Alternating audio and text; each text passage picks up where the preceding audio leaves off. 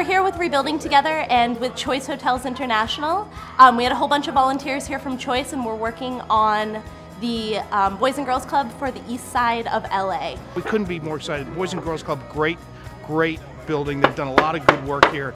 This place needs work and we're here to help and it's a good combination. We're in a community that's considered federally distressed, which means more than 75% of our population lives below the poverty line. We have an issue where within a mile and a half of our club, we have 17 active gangs. And though we don't like to really focus on the negative components of East LA because we have so much positive and life and, and wonderful opportunity, those are real dangers. You know, it was it was an amazing opportunity to see Choice Hotels choose us, for them to also value what we do here in the community, and they were the ones I think that initially saw that synergy between the two of us. Doing the Boys and Girls Club of LA for their busy season just made sense. We're sprucing up their uh, facility here because they're expecting a lot of kids, the same way we're preparing our hotels for a really busy summer.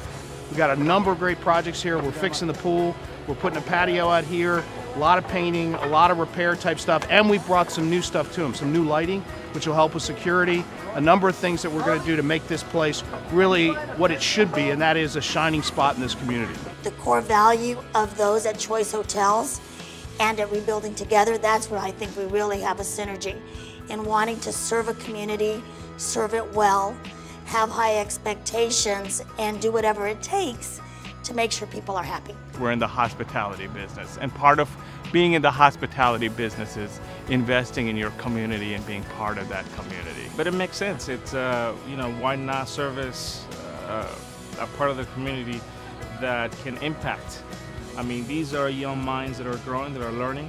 You know, when you have kids of your own, you look around and you see a need for there to be a positive place to influence children, and Boys and Girls Clubs offers that for you guys to come in, make that impact for the community and the lives of these kids. It's I'm pretty sure they're not gonna forget about it. it it's they're gonna it's you're gonna make their day, their year, their decade.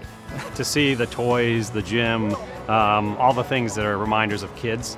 Um, when I was painting that pool deck, I could imagine the kids just jumping in. There's no water around here for miles, um, and I know with the look on my kids' face when they see a pool, um, it's great to give that to this community. You have no idea.